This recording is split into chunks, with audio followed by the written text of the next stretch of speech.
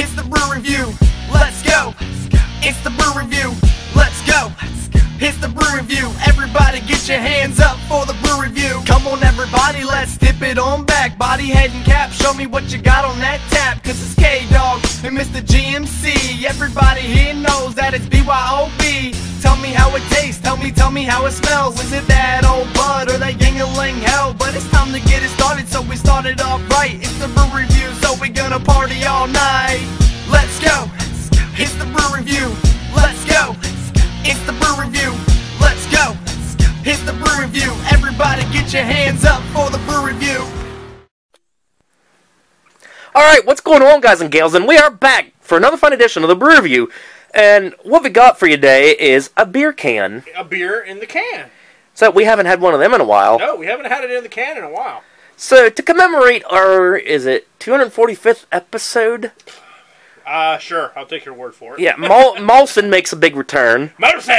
Yeah, beer! Beer! As we had last week. Molson made a very early appearance, Oh, God. like was that? episode 10, Yeah, that was way back in the day. It's as I do the rotisserie. It is archived if you want to actually go back and see how bad we were back then. As, as opposed to now, where we're just still bad, but. So what we got for you today is Molson Export. Export. And it says beer and beer, beer. an ale, five percent by volume, 335 millimeter millimeter, 330. That's a, that's not very much. 355 milliliters. I'm assuming 12 ounces. You know what? We forgot to give Steam Whistle Hell last week. They were 200 or 341. So yeah, they skimped on the quantity. What the hell, Steam Whistle? But anyhow, we got your can shot. We already did the rotisserie. Yeah, do the rotisserie shot. So, yeah, we're going to have links down below to all the other Molson reviews, but supposedly this one here you cannot get here in the States like last week. As it is Molson export, so it is an export. And there is um, there is French on here or some kind. Brasser avec passion depuis plus de 100 ans, which translates into expertly brewed for over 100 years. Why didn't you just say that? Anyway. Uh, So, shouts to my dad once again. Depuis 1903, la bière Molson Export est brassée avec passion pour honneur à la tradition de John Molson. What? Are you talking about a whore? I'll read the English, I'm sorry. I just completely butchered the French. Uh, De la Antia à l'Antique. oh, Jesus, I can't read that one. Son goût exceptionnel elementaire. Ra- Rafraîchissant. Since 1903, Mor- Molson Export has been expertly brewed to honor the legacy of John Molson. We use some of the same quality ingredients today that he sailed across the ocean to find when he founded his brewery. Now the oldest in North America. What? Bu- bullshit! Oh wait, no, that's North America, not America.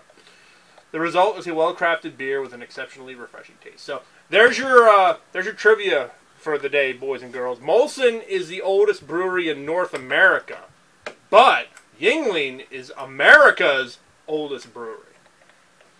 Yeah, so, as tradition, as usual, but not as usual, we're going to be doing the opening of the can test, the bunny head head test, the drink test, the draft test, all that good stuff. Consani la ou la loe li prescott. So, without further ado, pop that fucking bitch. And stop trying to speak French Yeah, because I cannot do I'm it. sure everybody's sitting there behind their phones and computers saying, Would you just fucking. Savoir-faire de la plus ancien brassière in Amérique du Nord. That's all I'm reading. I sound like the Swedish chef for God's sakes. Beautiful pop there.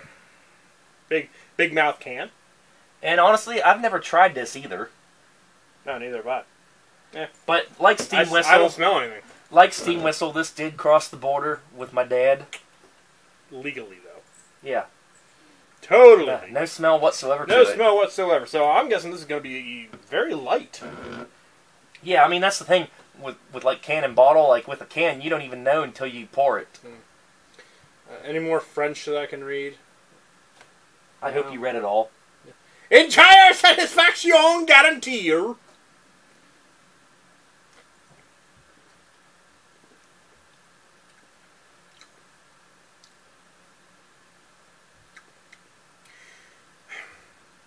Hmm. You seem confused. Almost tastes like an NA.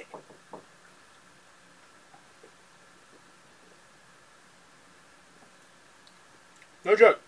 Really? Like, Yeah, to me, it tastes like a non-alcoholic, but I could just be wrong. It's not bad. No, again, nothing really spectacular. oh, you forgot to read on the front here. Depuce 1903. Depuce 1903. So, oh, yeah, Molson Export Beer Ale Beer. Beer. Let's try it.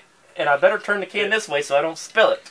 Those are the people that look at you and go, "American, Third burst. stupid American, beer." It tastes very light. Very light. Um, like I said, damn near NA tasting. That's just me. So, just gonna go ahead and pour here. Oh wow! Look It- how light that is. Well, it damn near looks like the steam whistle, doesn't it? it does. Dad, Why? um, when you guys are done with um that that, can you come up and let me know? That was our, our stage manager telling us to let him know that we're done or not. Wow, very light. Insanely light. Yeah, and there's not as much carbonation to it as the last one, but about the same shade of color. But more in there. I don't know if we were just taking baby sips or what. Yeah, I but they. I mentioned earlier, like they did skimp on the quantity on steam whistle, That is true. so yeah, we could have only had like 11 ounces there or something. That, that, that is true. But I'm gonna draft it. Go ahead. I'm going to try and brush up on my France. On my Française. That's weird. I put it down and the head went up. That is what she said. so I was So, waiting for the punchline there. so we went ahead and uh, poured it out of the can because we didn't want it in the can. We want it right here. Apparently, Canadians like it in the can.